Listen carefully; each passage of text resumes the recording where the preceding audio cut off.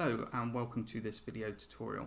So in this video I'm going to be showing you how you can make HTTP requests in JavaScript using the third-party library Axios. And I'll be showing you how you can make all types of HTTP requests, not just a GET request, but also POST, PUT and DELETE. Now the reason you might consider using Axios is because it really simplifies the syntax you need to write to make a HTTP request Having said that, it is promise based. Now, if you already understand promises, this is going to be very straightforward for you. If you don't, then you don't need to worry. I will walk through the process. Now, because Axios is a third-party library, to start using it in your project, you either have to install it locally or you can use a CDN. So you put a CDN in the head of your script and you can go ahead and start using it. But for completeness, I'm going to install Axios locally in this tutorial because this is probably how you would do it in production. So the first thing you need to do is to create a new project folder somewhere on your system. I've already created one on my desktop called Axios example and inside here are just it's just an index.html file which is just boilerplate HTML file linked to script.js which is currently empty. So the most common way to install Axios locally is with npm. So for that I'm going to need to open my terminal so now with the terminal open, the first thing I want to do is set the directory to that of my new project folder. So I can do that by typing cd, and then I can drag and drop the folder into the terminal, and that will give me the path. Now inside my project folder, the first thing I want to do is to create a new node project. Now to do this, you need to have node installed on your system. You can check that by typing node, and then the v flag, and it will return the version of node you have installed. If it returns that you don't have Node installed, then you need to head to the Node website and install Node. So I would recommend downloading the stable version and then once you've done that, return to the terminal. Now best practice is to create a new node project inside the folder, so I'll do that now. I type npm init, and because this is just for testing, I'll accept all the defaults by including the yes parameter. That's going to answer yes to all of the questions that come up. Now I want to actually install Axios in the project folder, so I can do that typing npm install, and I want to save it in the folder, so I include the save flag followed by Axios. So that will install now, it'll just take a few moments. So that's installed now. So if I take a look at the contents of my project folder now, you will see there's a package.json file. As a dependency, Axios is listed, and there's a node modules folder here where Axios is saved. So it's in the Axios folder and then all of the files I need to run it are there. So the way that I can start actually using Axios to make HTTP requests now is in index.html before the link to my script. I'm going to include another script and that's going to have a source linking to Axios in the node modules folder. So it's a bit of a long file path unfortunately so you need to go inside node modules and then inside node modules you access Axios and then you want to access the dist folder and then inside there the Axios min.js.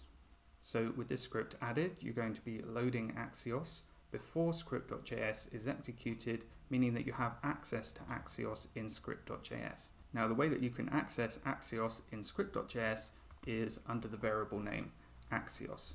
So to use Axios to make HTTP requests we're going to be using methods that are available on the object that's stored in this variable Axios.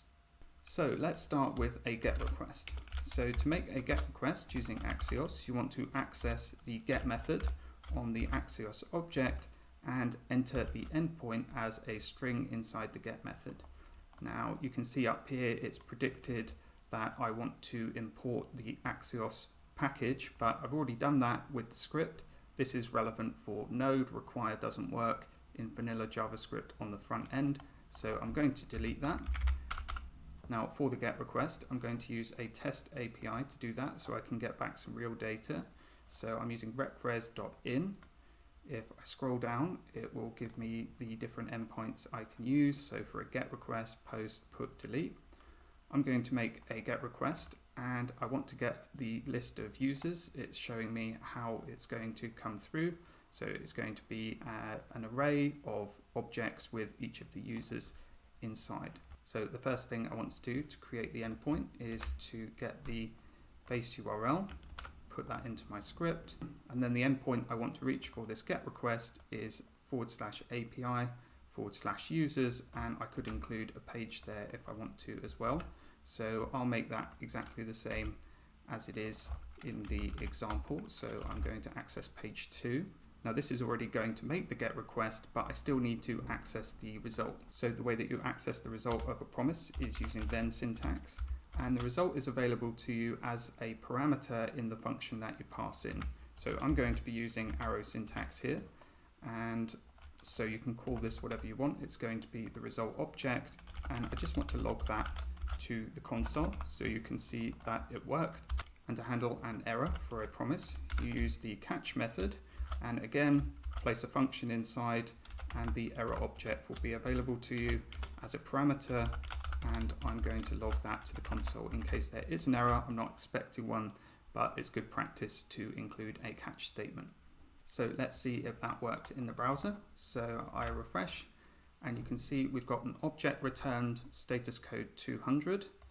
If I take a look inside, inside the data property, I have the data and the data is an array of objects like it was in the example online and each of those objects contains the information about each user. So the GET request has been successful, you have the data available to you, and you can access it in JavaScript via this res object. Now, something you might want to do from here is to create a handler function so you can handle the result there rather than inside all of this syntax. It could get a bit messy. So to do that, you can create a new function with a parameter data, and I'm just going to log data here from inside this handler function, you could just call that function passing in the data to it. So handle result, passing in res. Now in the browser, I'm getting the data object again, but this time it's being logged from line 7, so that is within the handle result function rather than within the then catch statements. So that's one way you can get the result out of the then catch statements and into a result handler. But for now, I'm just going to go back to how it was before for this tutorial. So, so I'll just log the result to the console again. Now, to make a post request to a server, Axios makes that about as straightforward as it could be. So you need to access the Axios object again, and the method you're looking for is post. And then inside there, you want to pass in the endpoint you want to post to. So I know that the base URL is this. So I'm going to copy that in there. And in the API documentation, I'll check now what I need to do to make a valid post request. So here's the post create request. And the endpoint is API users. So I'll enter that now. And the information the API is expecting is a data object with the name and job of a new user. And if that works, it's going to send a 201 status code and it's also going to send back a data object mirroring the information that we entered with name and job as well as an ID and a created at timestamp. So in our post request we need to include an object like this one. So the way you do that in Axios is to create a second argument on the post method call and that should be an object and then you can just write in the data there. So in this case I'm going to create a new user and the user is going to be called John and the job can set to developer. Now the response and error handling for a post request is exactly the same as before so I'm going to copy and paste that from the get request below here so then the then and catch syntax is handling the response. Now I'm going to comment out this get request so that is not interfering with this post request we're making so let's see how that looks in the browser now. If I refresh, we see this is on line 11, that's our post request, and inside the data property is the data mirrored back at us, uh, name, John, job developer, and the ID and the created at timestamp are there, and we can see that the status code is 201, so that's worked just fine. Now, if you want to make a put request overwriting the data, all you have to do in Axios is exchange the post for a put, so using the put method. So I'll comment out the post request. So we can see the put request in action. Now I need to just check the API documentation to see what it is expecting for a put request. So put update, I need to give a user number there. So back here, I'm going to say user number three, and I'll enter some slightly different data this time. So I'll say Mark, and I'll change the job to gardener. Now let's see the result of this in the browser. So I'll refresh here, status code 200, open it up, and the data here is being mirrored back at us. We've got the updated at timestamp. So if we look back at the API documentation, that is exactly the result we were expecting. So name, job, and updated at. No ID this time, probably because we're just updating the records. So finally, let's make a delete request using Axios. So you can probably guess what method I'm looking for on the Axios object this time.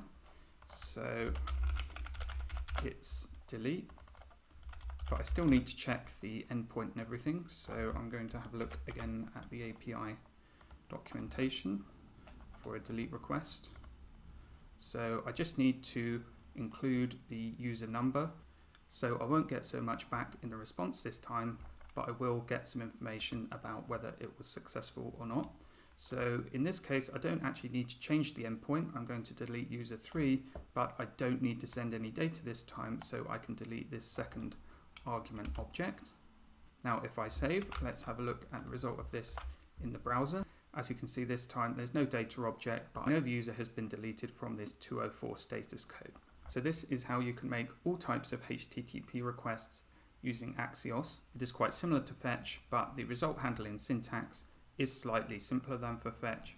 On the other hand, you do have to import Axios to your project, so which one you want to use is up to you. Axios is definitely a very popular and also well supported option. So that is it for this tutorial. If you did find it useful, please consider hitting the like button down below. And if you'd like to see more content like this from us in the future, don't forget to subscribe to the channel.